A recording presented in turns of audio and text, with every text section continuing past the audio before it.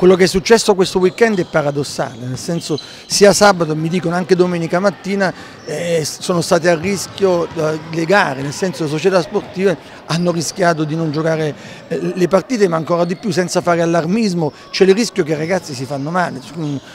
perché chiaramente sul, su, su, un parquet bagnato si scivola, che è una cosa, una cosa banalissima. Ma ritengo che il problema non sia questo, cioè, perché tanto il, il, il, palazzetto fa acqua da anni, il, il, paese è ancora peggio, devo dire la verità. Quello che mi ha impressionato cioè,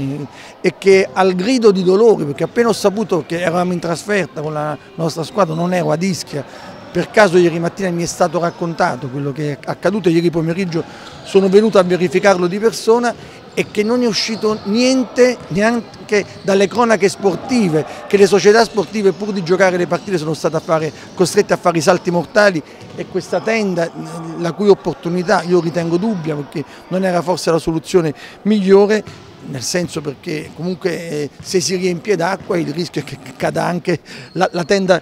piena d'acqua. Io non dico che non bisognava tamponare, ma eh, tamponando bisognava anche denunciare. Dico, com'è possibile che società le società sportive che hanno subito, perché loro sono le vittime insieme ai loro tesserati di quello che sta accadendo nel tempo e di quello che è accaduto in questo weekend, non hanno avuto una, una reazione e quindi istintivamente hanno detto, eh, hanno riferito di quello che che era accaduto.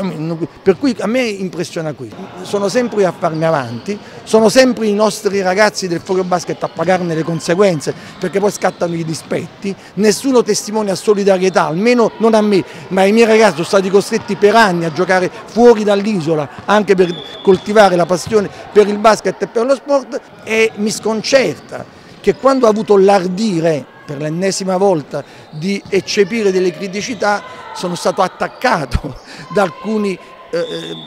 personaggi del mondo dello sport, ai quali io non, non, ho detto di non tamponare perché avevano ospiti la società di Lacquamene e quant'altro, ho detto che tamponando bisognava dire qualcosa, questo è quello che ho eccepito ho apprezzato come anche noi oggi siamo occupati e preoccupati, non a caso il, il bidone era mezzo, mezzo, pieno di acqua ancora oggi ed è stato svuotato, evidentemente qualcuno l'avrà fatto, qualcuno avrà passato la pezza anche oggi perché loro potessero giocare, no? anche gli atleti di altre società. E allora tutto questo io mi chiedo perché accade e perché accade nel mio paese e perché accade nello sport. Se c'è un disagio, io provo imbarazzo nei confronti dei miei ospiti che vengono accolti in una realtà dove piove. Quindi chiedere scusa alle società ospiti, chiedere scusa ai propri atleti. Il sindaco, anche se ha sbagliato perché è distratto, perché è incapace, pretendere dal sindaco le scuse alle società sportive per quello che accade. Io, solo, io mi candido a a sindaco di questo paese, ma non per, per, per essere il, il superuomo, che magari alcune cose pensa anche di poterle risolvere in tempi relativamente brevi, ma per essere la persona che quando sbaglia ha l'umiltà di chiedere scusa. Dopodiché qui nessuno chiede da conto di niente, ma noi, io voglio vivere in un'isola, in un paese,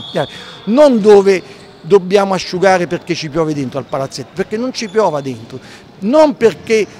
dobbiamo scavare nel fango per cercare le vittime, perché il fango non, non faccia vittime, questa è l'isola in cui voi, in un paese dove ognuno di noi si prenda cura del proprio vicino, del proprio bambino, della propria struttura, del proprio tesserato. Io voglio vivere in un paese così, nella sostanza, bisognava salire sul tetto oggi, o ieri o l'altro ieri, bisognava anche rinviare la partita, se non c'erano le condizioni per giocare, ma non bisognava condividere situazioni tampone che non garantiscono forse la massima sicurezza per la disputa di alcune gare. Ma mi ripeto, la cosa che mi ha allarmato in questo weekend è che mi sono state raccontate scene paradossali per favorire lo svolgimento delle gare e niente è uscito da questo palazzetto come notizia di cronaca e sembrerebbe che qualcuno abbia anche tentato di zittire qualcuno che ha dato notizie che evidenziavano alcune criticità che grazie anche agli operatori del mondo dello sport sono state superate, quindi grazie agli operatori del mondo dello sport, grazie alle società sportive, ma l'invito